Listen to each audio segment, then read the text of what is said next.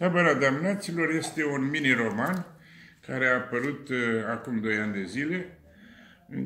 și tratează practic construirea omului, eșecul de fapt al construirii omului nou în comunism. Trei condamnați sunt eliberați la 23 august, când se obișnuia, pleacă pe șantierele patriei să-și revină, să devină constructori ai socialismului și unul se spânzură, unul pățește o întreagă tragedie că s-a apucat de afaceri oneroase, în sensul cu parfumele, cu săpunele, cum se făcea pe vremea comunismului, mai puțin cu blugi. Iar uh, celălalt ajunge la un moment dat să creadă că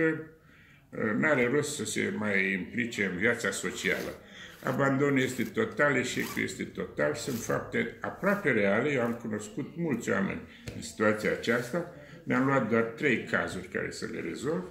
inclusiv o lumea văzută pe partea cea care ținea de funcționărime, de direcțiile de muncă, de forțele de muncă, de tot ce însemna organizare de șantier și multe alte lucruri. Chiar și preoții care uh,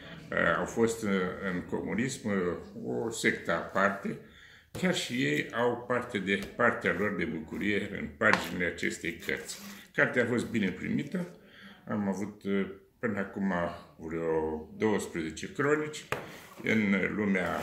uh, literară și sper ca de la convorbiri literare și până la Ateneu și sper ca în continuare să mai poată fi semnalată și cu alte ocazii.